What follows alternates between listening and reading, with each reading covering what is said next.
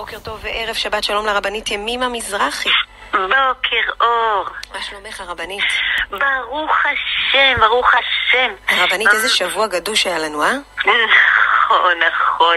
והיו כל כך הרבה תובנות, באמת, מהשבוע הזה. אני כל הזמן חושבת על זה שהפגישו בטקס אחד ביום העצמאות את פסגת הקדמה, שזה היה לשלוח אה, חללית לירח. ופתאום מישהי שלא ידעה אפילו לקרוא, מרי נחמיאס, שאמרה ירבי בזכות כל הצדיקים שהמדינה הזאת. אז מי ינצח? הרי אם את חושבת על זה מראש, החללית, הקדמה, אנחנו בירח, פתאום מגיעה זאת עם הצדיקים שלה, והברכות לכולם, כבשה לנו את הלב. אין לך יפה מן הפשטות, אין לך יפה מן הצניעות, ו- ו- וזה באמת מה שעשיתם עכשיו. כתוב במדרש רבה, לפרשת אמור, וכי תזבחו זבח תודה להשם. רבי פנחס ורבי לוי ורבי יוחנן אומרים לנו לעתיד לבוא כל הקורבנות בטלין, וקורבן תודה אינה בטלה לעולם. כך כתוב ממש. הפשטות הזאת, התודה הזאת שקמים בבוקר, אין עליכם, אשריכם. שלא לדבר על ההתרגשות ששמעתי מכל מקום על הפרשת החלה בשבוע שעבר. משהו, וואו, וואו. באמת, באמת העולם עמד על רגליו. תודה לאל. אז אמ, אה, אה, טוב, אז אני, אני בטקס. אז בחיזוק. בטקס.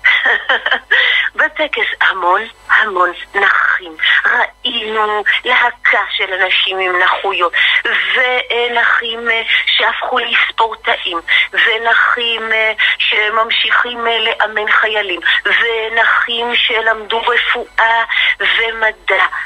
אז למה? בפרשת אמור, זה תמיד קטע שהוא באמת קשה לעיכול. כהן, אם יש בך איזושהי נכות,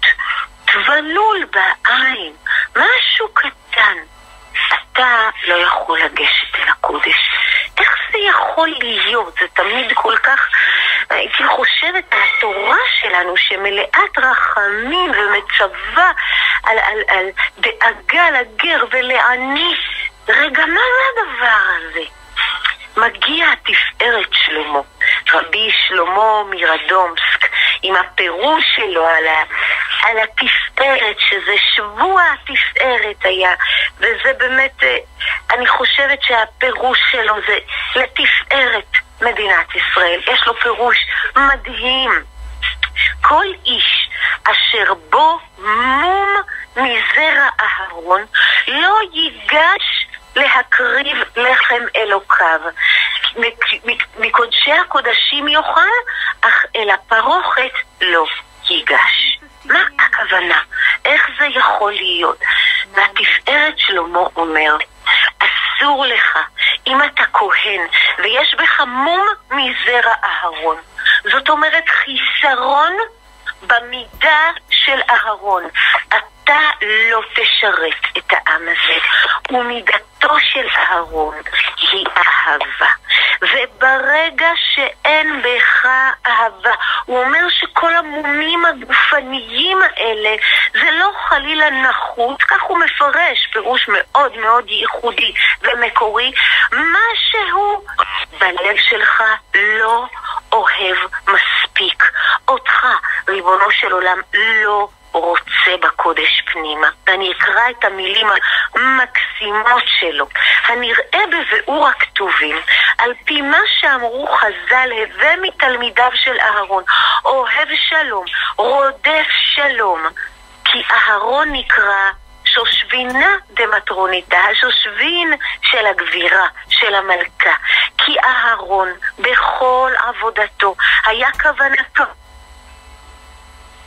השלום, להקים שכינתה מעפרה, וידע שהסוד לזה הוא שלום, ולכן הסיום בברכת כהנים הוא השלום, וזה כל המצוות.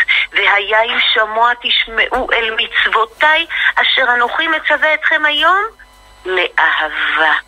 כי זה כל האדם מחויב להיות מתלמידיו של אהרון, לכוון ליבו בכל עבודתו, להקים שכינתה מעפרה. ואיך עושים את זה? מרבים אהבה בעם ישראל, והשכינה עומדת ומתחננת לכל אחד מבני ישראל לאמור, חוסה נא עליי, והושיעני והצילני ממאסר, כי עתה הנני בידך. ולכן באו הכתובים הללו להוכיח כל איש אשר בומו מזרע אהרון, פירוש שאינו מבחינת הכוונה של להקריב. גם אם הוא באמת צדיק, ולחם אלוקיו מקודשי הקודשים יאכל, אל הפרוכת לא יבוא. כי יש מקום שנקרא מבית לפרוכת. השם ישימנו מהמייחדים שמו באהבה. אמן.